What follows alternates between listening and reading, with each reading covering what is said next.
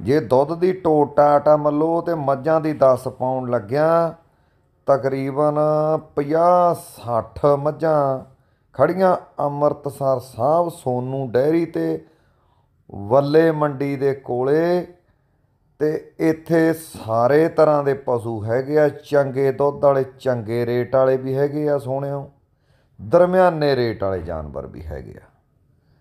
ਸੱਜਰਾਂ ਵੀ ਹੈਗੀਆਂ, ਤੋਕੜਾਂ ਵੀ ਹੈਗੀਆਂ ਤੇ ਜੇ ਕੋਈ ਵੀ ਸੱਜਣ ਪਿਆਰਾ ਮੱਝ ਚਾਹੁੰਦਾ ਖਰੀਦਣੀ, ਤੇ ਨੰਬਰ ਡਾਇਲ ਕਰ ਲਓ, ਅੰਮ੍ਰਿਤਸਰ ਸਾਹਿਬ ਵਾਲੇ ਪਾਸੇ ਗਏ ਆ, ਤੇ ਉੱਥੇ ਜਾ ਕੇ ਭਰਖ ਕੇ, ਚੋ ਕੇ ਗੱਲਬਾਤ ਕਰਕੇ ਬਾਈ ਦੇ ਨਾਲ, ਸੋਨੂ ਡੈਰੀ ਵਾਲੇ ਦੇ ਨਾਲ, ਤੇ ਤੁਸੀਂ ਖਰੀਦੀ ਕਰ ਸਕਦੇ ਆ।